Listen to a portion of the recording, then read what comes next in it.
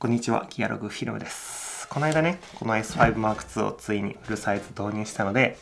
今回はこのマイクロフォーサーズの今まで使ってた BMPCC とどれぐらい差が出るのかっていうのを、えー検証してみました。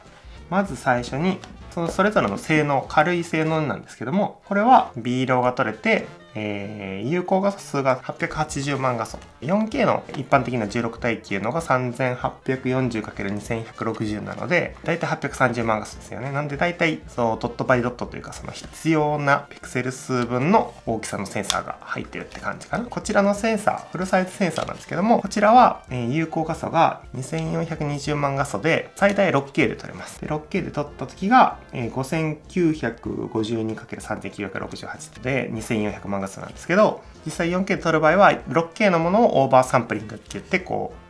う 4K の大きさにグッとこうピクセルの大きさをね 6K 分の容量を 4K にこうグッと圧縮して、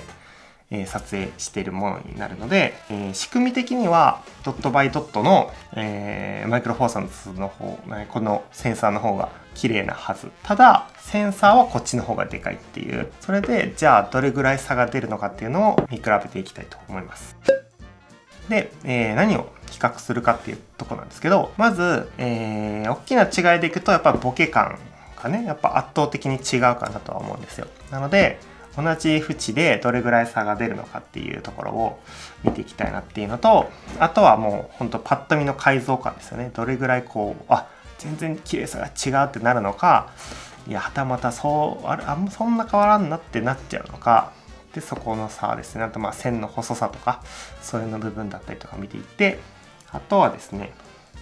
ぱ高感度耐性ですよね。高感度耐性やっぱりちっちゃいセンサーと大きいセンサーで差が出るっていうとやっぱ暗分に強い弱いっていうのがあると思うので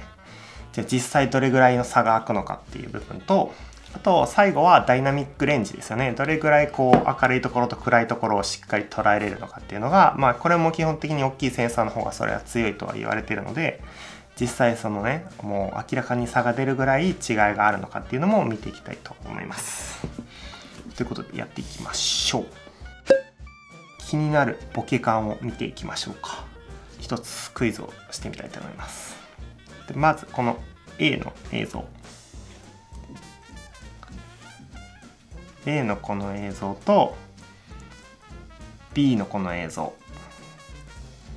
果たしてどちらがフルサイズでどちらがマイクロフォーサーズでしょうか。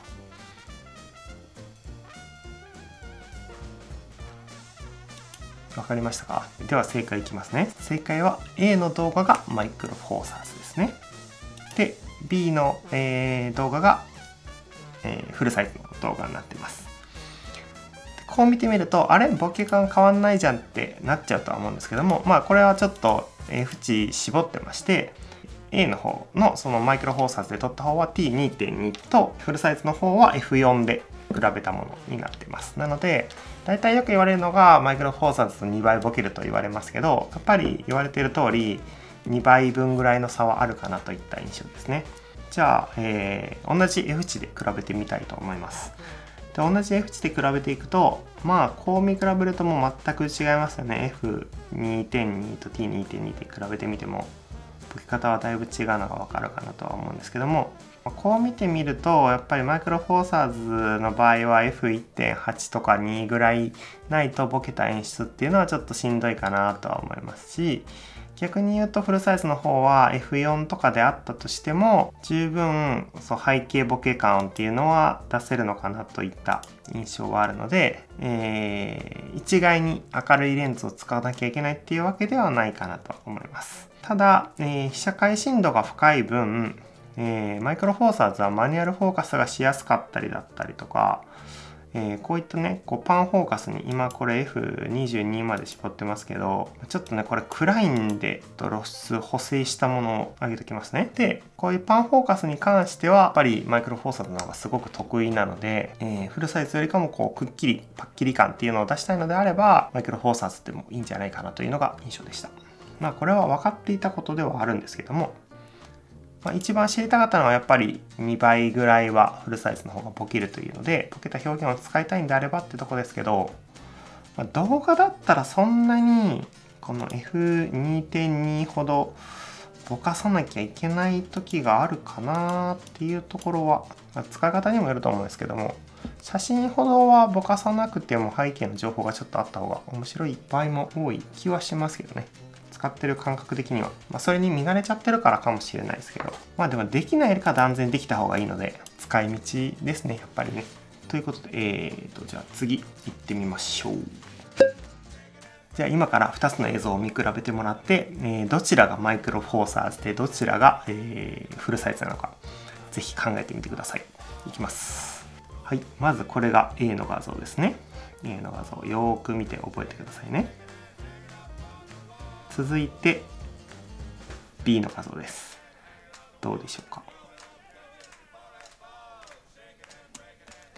はい。どうですか？わかりました？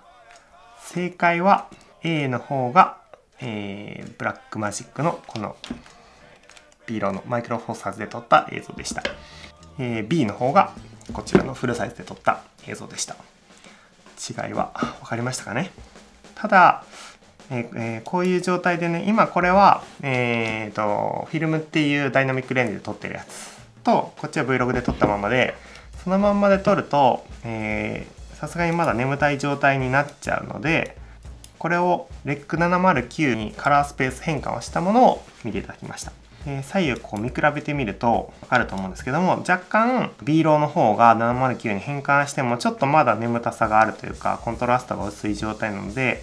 ここからちょっと補正をかけてこうするとどうですかね。パッと見違い分かりますか？もうこうするとかなり拡大してみないと分かんないんじゃないかなと思ってこちらに関してはシャープネスをかけてますね。シャープネスをかけて、えー、コントラストをつけてあとグリーンとレッドの部分をちょっと色を変えてます。見てみますか。グリーンレッドがなくなるとこういう感じでちょっとね色味の出方が違うのでこれを揃えるためにこんな感じでグリーンとレッドを足してます。あとは明るさを揃えてコントラストを出してって感じで合わせましたけど。もうこうしちゃうと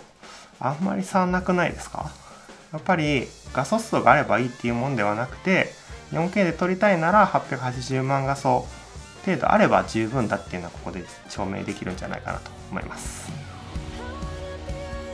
交換の体制を比べていきたいと思います。でここでまあ1万と見比べてみるとまあここら辺がノイズ除去をしてしまうとそんな差ない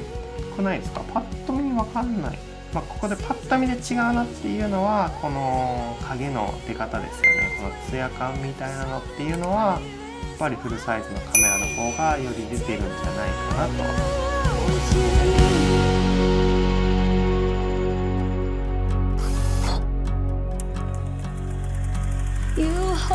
This map, I'll hold your hand. Take this love around the world.